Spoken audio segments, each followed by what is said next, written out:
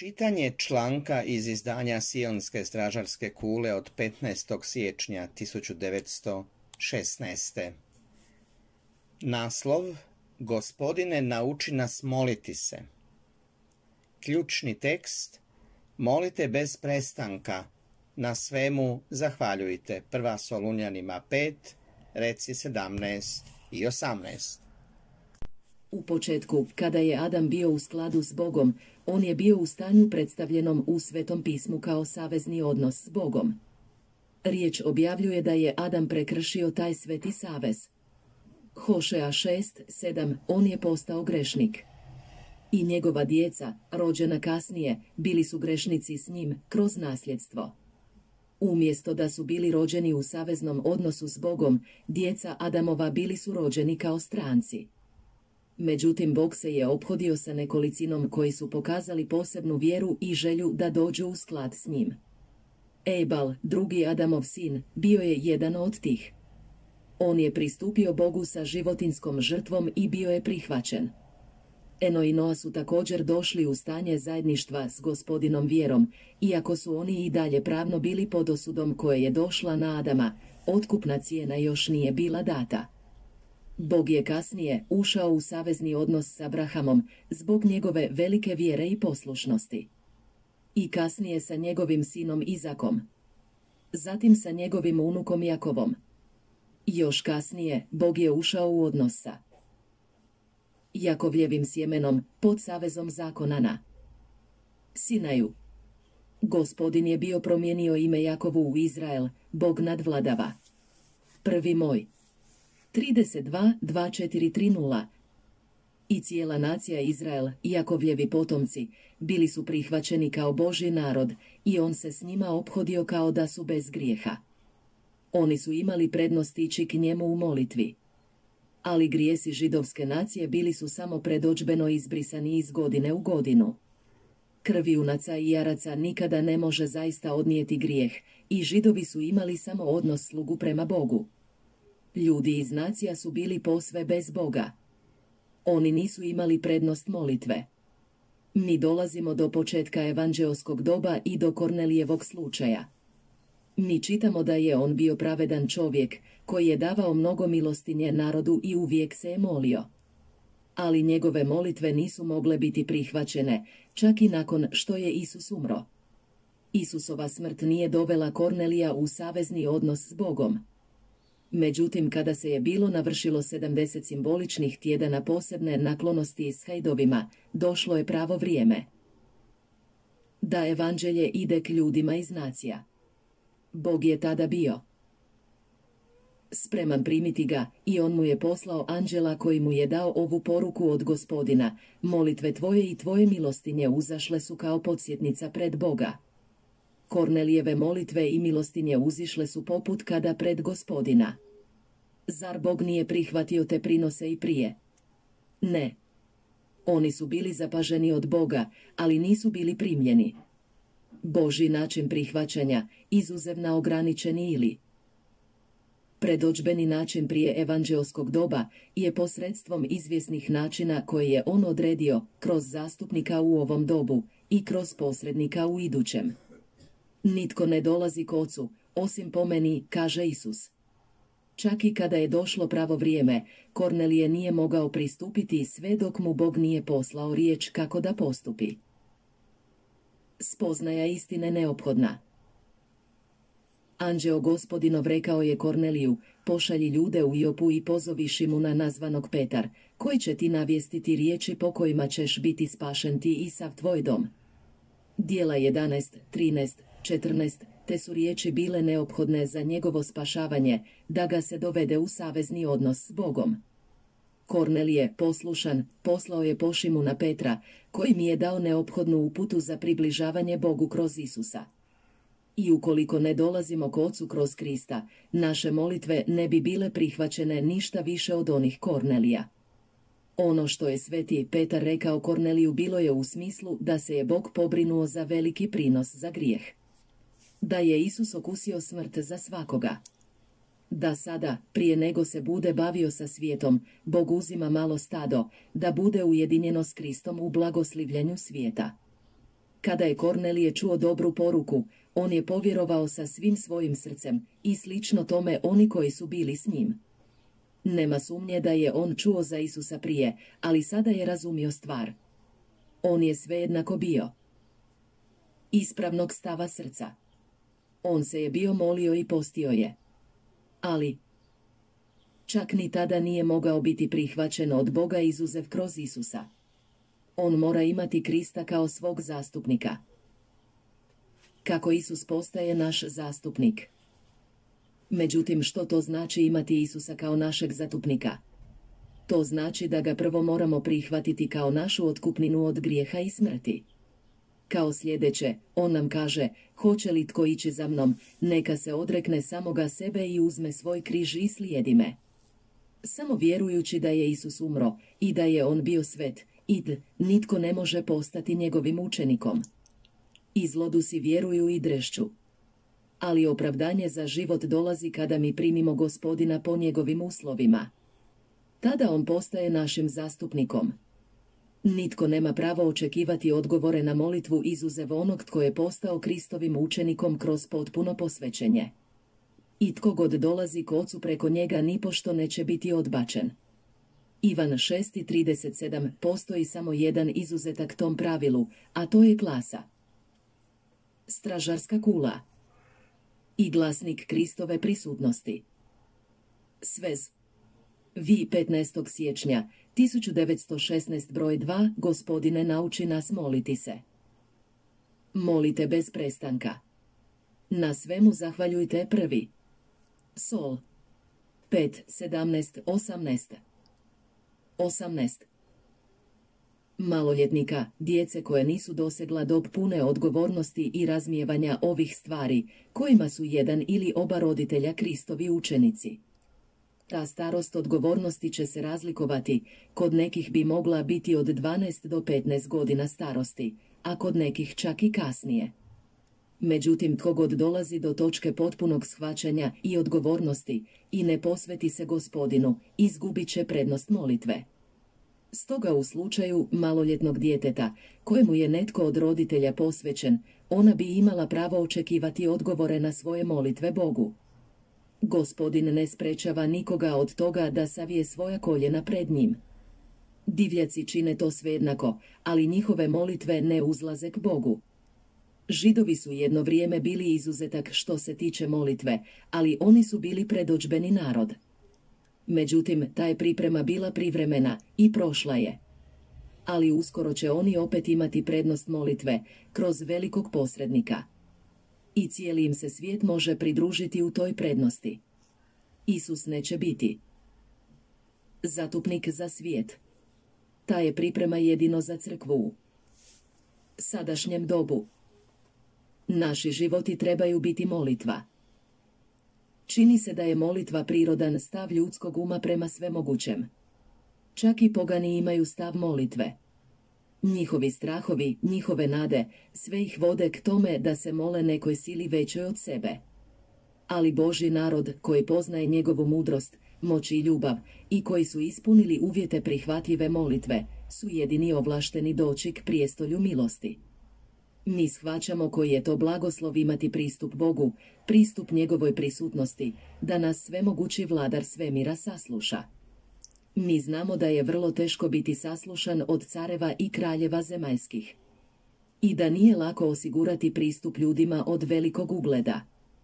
Ipak veliki je Bog napravio pripremu da njegov narod može doći k njemu i obznaniti mu svoje molbe. Nepokajnički grešnik ne može doći k Bogu. Međutim, božanska je mudrost napravila pripremu s kojom se grešnik može lišiti svog grijeha i da zatim može doći k njemu u molitvi i općinstvu. Židovi su imali predođbene žrtve, predođbeni dan pomirenja i predođbeno oproštenje grijeha. Međutim, oproštenje naših grijeha kroz zaslugu Kristove žrtve je stvarno i dovodi nas do stanja prihvatljivosti Ocu. Njemu je ugodno da mu njegova djeca dolaze u molitvi. I naša je radosna prednost prinijeti mu obožavanje i hvalu, odavanje pošte našeg srca. Želimo napraviti razliku između obožavanja i molitve. Obožavanje je poklonjenje, priznanje Božeg veličanstva, čin štovanja, klanjanja. Međutim, molitva je prinošenje molbe.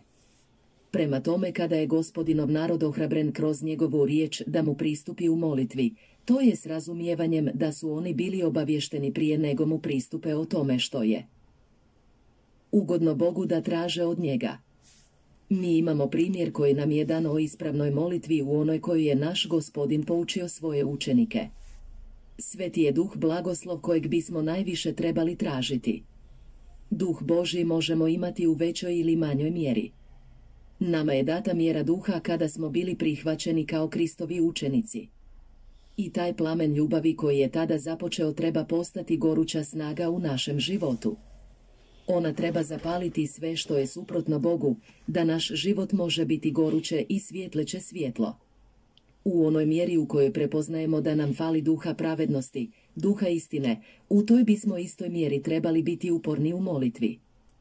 Kogod prepoznaje svoju potrebu i poznaje izvor iz kojeg može dobiti potrebnu opskrbu, ići će k prijestolju nebeske milosti.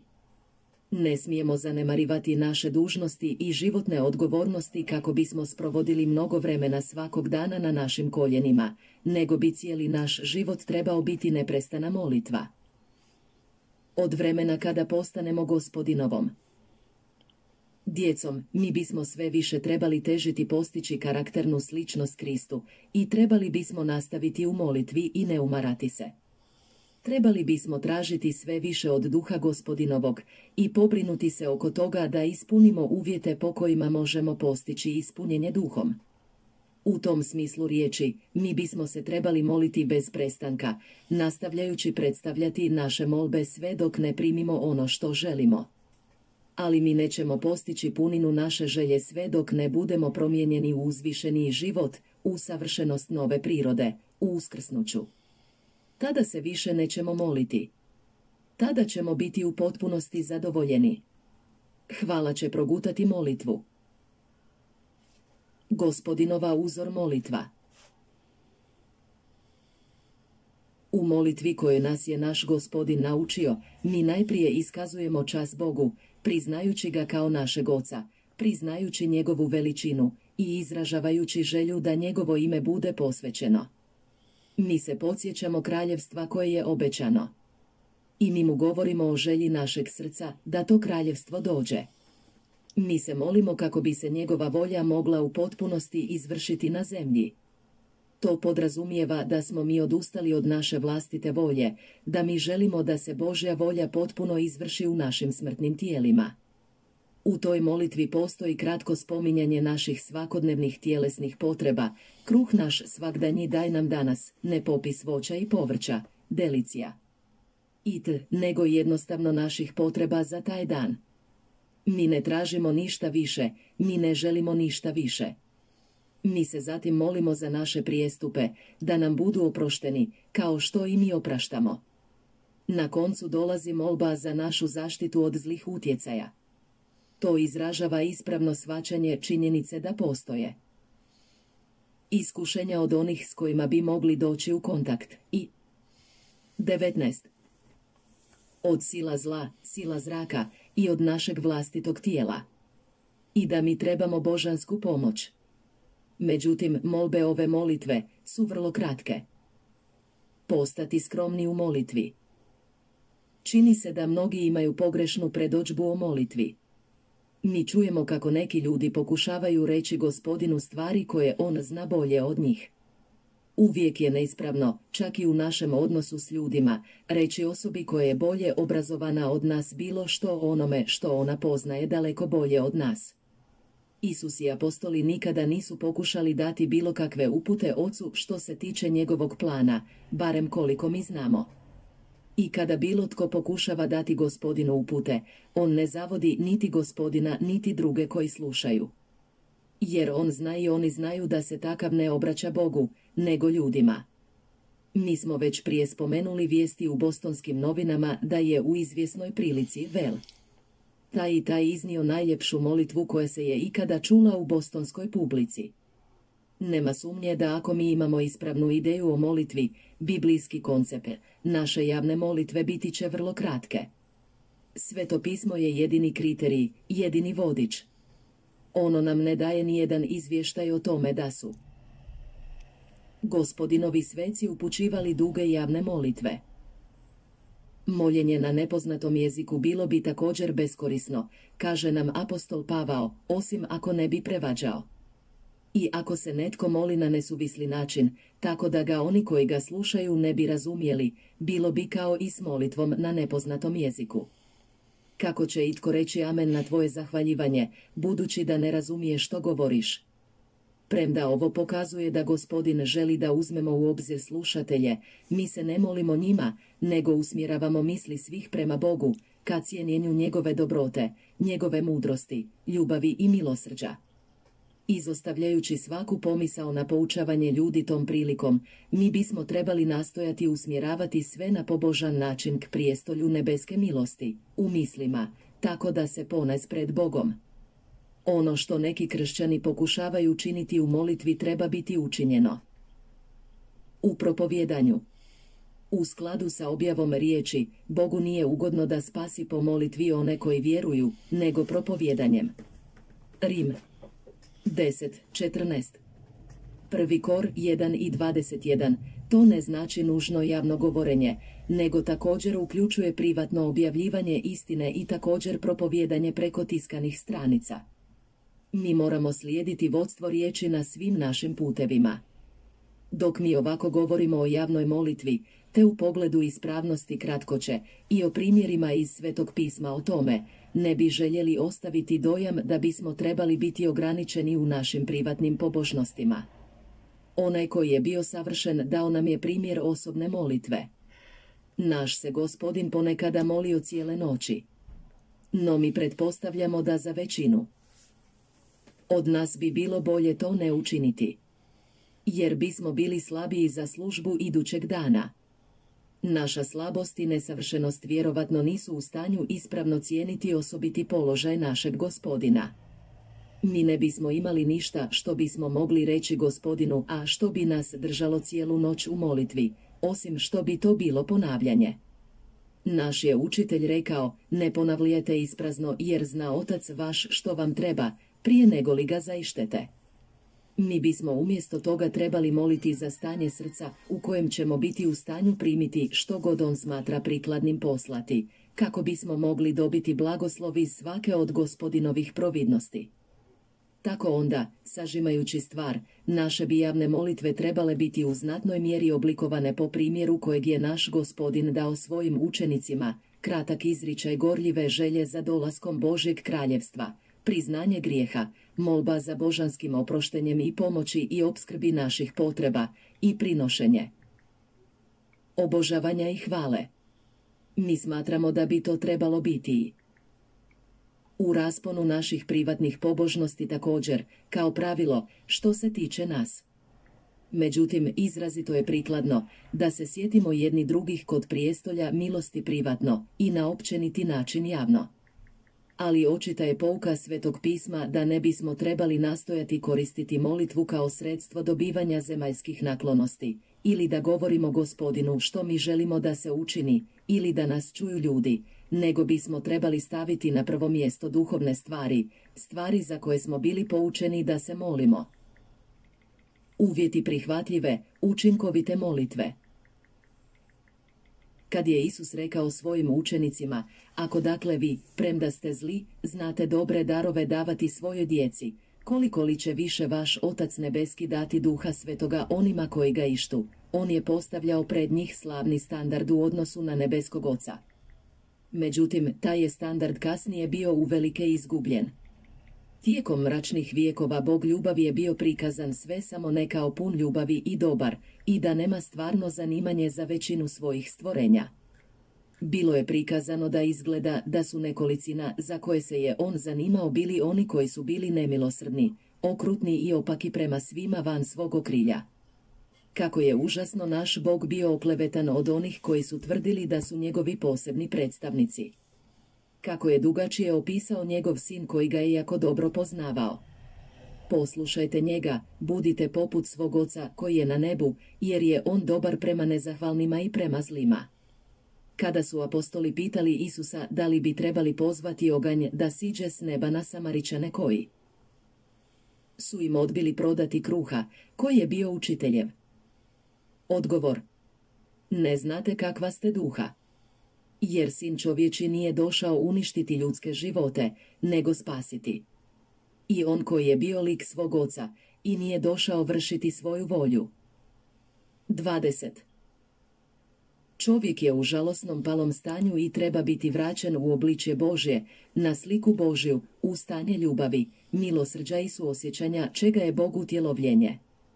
Ipak, bez obzira na naše palo stanje, roditelji vole davati dobre darove njihovoj djeci. Koji bi roditelj, ako bi ga dijete zatražilo ribu, mu dao zmiju? Ili ako bi ga zatražilo kruha, bili mu dao kamen? I budući da smo mi primili te karakterne crte od gospodina i još uvijek ih imamo u znatnoj mjeri čak i u ovom našem okaljanom stanju, mi možemo formirati neku ideju o tome kako bi on koji je savršeni, beskonačni, uživao davati dobre darove svojoj djeci, koliko li će više otac vaš, koji je u nebu, dati dobra onima koji ga ištu. I njegove najbolje stvari su duhovne stvari. Izgledni sinovi prije pedesetnice. Trebamo imati na umu da je naš gospodin kad je bio na zemlji bio u najpotpunijem smislu predstavnik oca u tijelu. On je zaista bio bogočitovan u tijelu. I oni koji su imali ispravan stav srca bili su u stanju vidjeti očev karakter u sinu. Oni koji su vjerovali u Isusa bili su prihvaćeni i s njima se obhodilo u mnogim pogledima kao da su već bili u potpunosti primljeni od oca. Međutim, Sveto pismo objavljuje da Sveti Duh još nije bio došao. Mi znamo da Sveti Duh nije mogao biti dan u snazi začinjanja sve dok Isus nije bio umro i ušao u Božju prisutnost da napravi pomirenje za grijehe crkve. 40 dana nakon svog uskrsnuća, Krist je uzašao na nebo da predstavi svoju zaslugu, pripisujući je svima onima koji će postati njegovim učenicima tijekom evanđeoskog doba, razdoblja uzvišenog poziva. Čak i dok Sveti Duh još nije bio darovan, Isus je rekao svojim učenicima da se mogu moliti, Oče naš. To je bilo s obzirom na stanje sinovstva u koje su. Uskoro trebali biti uvedeni. Bog nije otac nikojih. Drugih osim onih koji mu dolaze na od njega određen način, kroz njegovog sina kao otkupne cijene, napravivši potpunu predaju sebe i svega svoga Bogu. Dok je naš gospodin još bio u tijelu, njegovi su pravi sljedbenici bili sinovi u potencijalnom smislu. Pa ipak, nakon gospodareve smrti i uskrsnuća, on im je rekao da ostanu u Jeruzalemu sve dok ne budu bili obučeni u silu svisine. Otac će odgoditi odgovor na neke od njihovih molitvi. On im neće dati blagoslov upravo u vrijeme kad ga se zatraži. Mora da je postojao neki dobar razlog za uskraćivanje toga sve do nekog budućeg vremena, kao što je davanje svetog duha u začeću. Ipak, oni su se trebali održati u ispravnom stavu vjere, da bi mogli biti spremni za blagoslov kad bude došao sa visine. Njihova je molitva s pravom mogla biti, nebeski oče, mi smo naučili da ćeš nam u ispravno vrijeme ti dati svetog duha. Mi razumijemo da si ti već dao. Tvoga duha Isusu našem gospodaru. Da je u vrijeme njegovog krštenja on primio pomazanje s visine. I mi stoga čekamo na sveti duh, mi čekamo da primimo to pomazanje, taj blagoslov od tebe. I oni koji su čekali u gornjoj sobi nakon gospodinovog uznesenja, primili su na pedesetnicu upravo taj blagoslov, sveti duh u pravo vrijeme. Isus, jedini put. Ako dođemo do današnjeg vremena i pitamo zašto se mi možemo moliti, gospodin odgovara kroz svoju riječ da se mi ne možemo moliti izuzev po tim istim uslovima. Naime, vjera u njega kao našeg otkupitelj i potpuno predanje, odanost, sebe da hodimo stopama gospodara, našeg blagoslovljenog primjera. Nitko ne može doći k ocu osim preko njega. Svi takvi će biti prihvaćeni, sve do potpunog broja izabranih. Prema tome, ne bi bilo ispravno ohrabrivati bilo koga da dođe k ocu u molitvi sve dok nisu postali članovima njegove obitelji kroz potpuno posvećenje. U slučaju Kornelija, rimskog satnika, kojega smo citirali u ovom članku, vidjeli smo da je bio pravedan čovjek, dobar čovjek. Međutim, on nije pripadao židovskoj naciji, kojoj je Bog dao svoj zakon.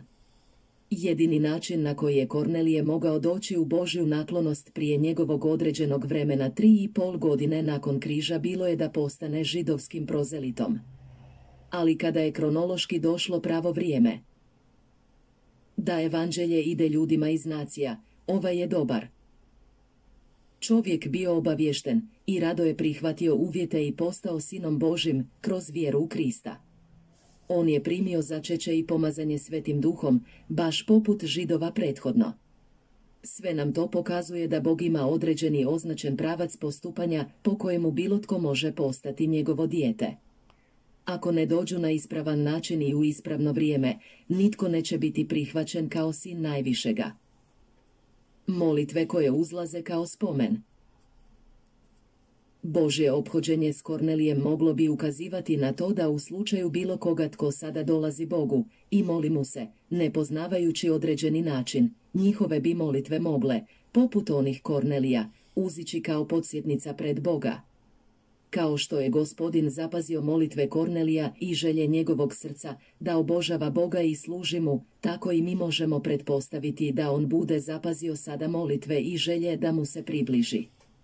On im možda neće poslati nekoga poput Petra da im da upute u ovo vrijeme. To bude ovisilo o njegovoj odluci da li bi to bilo pravac mudrosti, kao i da li bi takav bio pogodan za njegovu sadašnju namjeru. Ali bilo koje molitve prinešene u iskrenosti ne budu prošle nezapaženo, nego budu primile uslišenje u pravo vrijeme, bilo sada ili kasnije. 21. Pretpostavimo da pojedinac živi u pogansko zemlji gdje Krist nije bio poznat i pretpostavimo da takav žudi za Bogom i moli se u skladu sa svojim svjetlom. Gospodin ga ne može prihvatiti kao svoje dijete pod tim okolnostima. Ali on može, ako to njegova mudrost odobri, voditi tog iskrenog tražitelja ka spoznaji o Kristu, bilo da mu to dođe poštom preko traktata, kroz propovjed, ili kroz susret sa jednim od gospodinovih izaslanika koji bi mogao komunicirati s njim na njegovom jeziku. Mi smo sigurni da će svaka gladna duša primiti svjetlo i spoznaju koji su neophodni za njegovo spasenje u gospodinovo vrijeme. Nakon što čuje Boga i očitovanje njegove ljubavi u Kristu, preostaje na svakom pojedincu da prihvati ili odbaci poruku. Ako propusti napraviti posvećenje Bogu ili odbije kada primi svjetlo, nijedna molitva koja bi mogla biti prinešena neće biti prihvaćena. Glavni od svih Božih darova Mi čitamo da će nebeski Otac dati dobre darove onima koji ga traže. To jest, on će dati ono što će biti dobro za njih. Mi ne možemo diktirati njemu koji će biti njegovi blagoslovi. Mi ne možemo tražiti put zemaljskih stvari. U slučaju židova, oni su uglavnom molili za zemaljske blagoslove. Zato što im nebeski blagoslov nije bio obećan. Međutim, mi koji smo došli u odnos sinova Božih trebamo se moliti za ono što nam je on posebno obećao, sveti duh. I nebeski će nam otac dati one stvari koje su najbolje da nas učine prikladnima i pripreme nas za nebesko kraljevstvo. Gospodin će dati sve one materijalne blagoslove koji će biti najbolji za novo stvorenje. Sve što on bude dao biti će dobar dar. Mi ne znamo uvijek što bi bilo najbolje za nas. Roditelj koji se bavi sa djetetom mogao bi naći nužnim u izvjesno vrijeme dati mu lijek umjesto hrane. Roditelj to daje za dobro djeteta. Tako je i sa našim nebeskim ocem. On nam ponekada daje, ispite vjere, ispite lojalnosti, ispite ljubavi. Sva su ta. Iskustva osmišljena da razviju u nama snagu karaktera i da nas time usklade za daljnje i mnogo naprednije blagoslove. Otac se obhodi s nama kao s novim stvorenjima u Kristu. Ako, na primjer, neko od njegove djece postane preopterećeno sa blagoslovima ili brigama ovog života, Bog bi mogao dati takvome neku vrstu pročišćenja što se tiče zemaljskih stvari. Takav bi mogao slomiti nogu ili imati neku drugu zemaljsku nevolju, nešto što će raditi za njegovo dobro kao novog stvorenja. Ako bi gospodinov posvećeni narod došao do točke kada bi njihova glavna želja, njihov najviši cilj, breme njihovih molitvi, bilo to da budu ispunjeni sa duhom Božim, duhom istine, duhom zdrave pameti, da mogu znati i vršiti njegovu volju, kakav bi to veliki blagoslov donijelo. Volja je. Gospodinova da njegova djeca trebaju imati u velikoj mjeri taj najglavniji od svih blagoslova, ali on daje jedino pod izvjesnim uvjetima. On ga zadržava sve dok oni ne nauče cijeniti njegovu vrijednost i da ga toliko gorljivo žele da će marljivo prionuti da zadovolje te uvjete i nastavit će se moliti sve dok njihova upornost ne donese odgovor. Neizreciva prednost molitve Apostol Pavao potiče sveće da se sa svakovrsnom molitvom i iskanjem mole u duhu i bdijući sa svom ustrajnošću. Te riječi ne znače da bismo mi trebali biti stalno na našim koljenima ili stalno izgovarati molitve. Međutim, mi nikada ne bismo trebali prestati moliti se i naše bi molitve trebale biti u duhu, gorljive, iskrene. Dijete Bože neće recitirati molitve, ono će se moliti. Postoji mnogo formalne molitve, izgovaranja mnogih riječi u molitvi, koje ne dođu više od glave onoga koji ponavlja riječi. Sveto pismo o tome govori kao o približavanju Bogu s usnama kada je srce daleko od njega. Bilo bi bolje da ne pristupamo gospodinu uopće nego da to činimo na neispravan način. Veoma je predivna prednost približiti se velikom stvoritelju i gospodinu neba i zemlje. I mi bismo trebali doći u duhu poštovanja i pobožnosti. Naš je gospodin objavio da otac traži takve da ga obožavaju koji ga obožavaju u duhu i istini. Mi moramo doći. Samo u ime Kristovo. On je jedini put pristupa. I mi. Moramo doći promišljeno i ozbiljno. Ne bismo smjeli razmišljati o izgovaranju i jedne riječi koju nismo mislili i nismo razmišljali o njoj. Mi vjerujemo da si je veliki broj naštetio idući kroz formu riječi na samo formalan način. To nije molitva. Prava molitva je jezik srca. Prema tome što je veća naša gorljivost, tim će molitva biti prihvatljivija i biti će veći blagoslov kojeg ćemo primiti. Mi ne trebamo dolaziti k Bogu bez vjere i bez iskrene želje za njegovim blagoslovom, mi moramo ući u duh naše molbe, da bi gospodin mogao vidjeti gorljivost našeg srca u toj stvari. Čini se da postoji razlika između misaone molitve i one zahvaljivanija. Molitva je, kao što smo rekli, prinošenje molbe. Nitko ne može doći k gospodinu s priznanjem, izuzev onih koji su došli u Krista. Drugi su stranci i tuđinci. Međutim, svatko može izraziti zahvale Bogu ili mu prinijeti obožavanje, klanjanje, štovanje. Upornost u molitvi neophodna. Također postoji razlika između molitve i prošnje. Molitva bi mogla biti bilo koja molba, velika ili mala dok bi prošnja značila posebnu želju za nečim, iskreno preklinjanje. Bilo da je to obična molitva ili prošnja, intenzivan oblik molitve mi bismo uvijek trebali doći u duhu, sa cijenjenjem. 22. Činjenice da mi dolazimo u prisutnost velikog Jehove i da je to prednost odobrena jedino nekolicini u ovo vrijeme. I mi trebamo obdjeti sa svom ustrajnošću. Ako mi zaista vjerujemo da je gospodin pokazao da bismo se mi trebali moliti i da je njegova volja dati nam stvari koje trebamo i iznad svega svoj sveti duh, tada bismo trebali biti budni da zapazimo kada primamo odgovor na naša iskanja. Ako mi ne poklanjamo pažnju našim molitvama nakon što su izgovorene, nikada ne gledati jesu li bile uslišene, to bi ukazivalo da mi nismo zaista cijenili našu potrebu. Čini se da je to razlog zašto Bog ne odgovara tako brzo na mnoge naše molitve. Trebali bismo se naučiti bdjeti za odgovorima na naše molitve i tako naučiti pouku o cijenjenju i zahvalnosti njemu kada shvatimo da nam je on odobrio naš zahtjev. Mi bismo se stoga trebali moliti sa ustrajnošću, ne gledajući samo na nekoliko sati za ispunjenje, niti čak za dan ili tjedan. Gospodin može smatrati dobrim odgoditi uslišenje naše molbe, bilo da ispita našu vjeru. Ili da nas dovede u bolje stanje da primimo blagoslov. Možda smo imali sva ta iskustva i tako smo bili još više gladni za odgovorom kad je došao. Budimo sigurni da gospodin nikada nije ravnodušan na moljenje svoje djece i da će slijediti pravac koji je najbolji za nas, baš kao što bi vjeran učitelj sa svojim đakom i roditelj pun ljubavi sa svojim djetetom. Naš nebeski otac želi nam dati svoje najbolje stvari i neće uskratiti bilo što što je zaista dobro.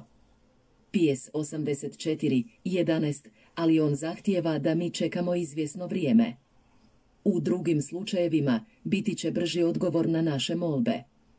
Bilo da smo na našim koljenima ili u poslu naša bi srca trebala stalno ići k gospodinu za njegovo vodstvo u svim stvarima i iskustvima, da mu možemo služiti na način koji će mu biti po volji i prihvatljiv, da budemo zaštićeni od iskušenja koja bi bez njegove pomoći bila preko naše izdržljivosti i da nas on u svoje vrijeme izbavi od svega zla i nesavršenosti i da na mjesto u svom nebeskom kraljevstvu. Draga, Braćo, neko bismo stalno stavljali u praksu naputak našeg gospodara, bdite i molite da ne padnete u napast. Marko 14.38 Trebamo li se Hrvati u molitvi? Međutim, iako nam sveto pismo nalaže da budemo uporni u molitvi i usporedba o nesretnoj udovici nas uči tome, ništa u riječi Božjoj, po našoj prosudbi, ne opravdava činjenje onoga što neki ljudi zovu hrvanje s Bogom u molitvi. Mi vjerujemo da je naš Bog spreman dati nam stvari koje su najbolje za nas i bilo što što nam Bog nije spreman dati mi ne bismo trebali željeti. Mi ne bismo trebali nastojati poticati gospodina da učini bilo što što on nije spreman. Učiniti, nego bismo trebali željeti da se njegova volja izvrši. U vrijeme kad se je Jakov harvao s anđelom, mi shvaćamo da je on učinio ispravnu i pravilnu stvar. Da je bilo tko od nas bio u sličnom položaju učinio bi dobro ako bio ponaša njegov način postupanja. To je bila rijetka prilika. Jakov se je vraćao svojoj kući po prvi put od kad je pobjegao u Pejdan Eram od svog brata Ezava i on se je bojao da bi ga Ezav mogao ubiti. I tada se je gospodin očitovao Jakovu u obliku tog anđela. Anđeo se je mogao oteti, ali on je dopustio Jakovu da dođe u taj gorljivi stav gdje je rekao, neću te pustiti, osim ako me blagosloviš. Međutim, mi se ne trebamo hrvati s Bogom za njegov poseban blagoslov. Mi već imamo taj blagoslov. Mi nismo sluge koje viču za mrvicama. Gospodin je stavio na nas svoju najbolju odjeću. On nam je dao svoj sveti duh.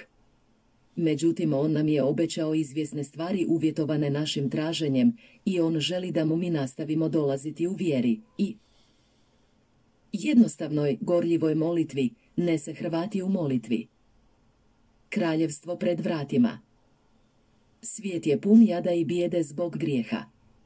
I naša srca vape, koliko još dugo, o gospodine, koliko dugo još da čekamo dok ne izbaviš tvoj narod i uspostaviš pravednost na zemlji. Stoga se mi molimo iz dana u dan, neka dođe kraljevstvo tvoje. Neka bude volja tvoja, kako na nebu tako i na zemlji. Hoćemo li se umoriti od toga? Ne. Jer gospodin nam je zapovjedio da to nastavimo željeti i moliti se za to. Kraljevstvo će doći. I gospodin želi da imamo to razmišljanje, kraljevstvo dolazi. Odustati od moljena značilo bi odustati od naše vjere. Nastavi se nadati, nastavi vjerovati, nastavi se moliti bez prestanka. Nastavi govoriti, neka dođe kraljevstvo tvoje. Nastavi čeznuti za vremenom kada će to kraljevstvo blagosloviti sve narode na zemlji. To je veoma drugačije od hrvanja, u skladu s našim gledanjem na tu riječ. To je salijetanje, to je upornost, to je postojanost. I u svemu trebamo zahvaljivati. Ali mi ne bismo željeli ubrzati gospodinovo vrijeme ni minutu. Iako se mi molimo, neka dođe kraljevstvo tvoje, to. Ne znači da mi želimo da kraljevstvo dođe prije očevog vremena. Međutim, mi čije su oči pomazane znamo da vrijeme neće oklijevati dugo, nego da je blizu. Kakve god bile naše prirodne sklonosti što se tiče postojanosti i određenosti u molitvi, mi moramo uzeti naše upute iz riječi Božje. Mi moramo nadvladati naše prirodne sklonosti po tom pitanju. Neka bismo kao prava poslušna djeca suobličili naša gledišta i naše vladanje riječima savjeta koje nam je dao naš otac. Imajmo na umu gospodarevo obećanje, ištite i primit ćete, da vaša radost bude potpuna. Ivan 16.24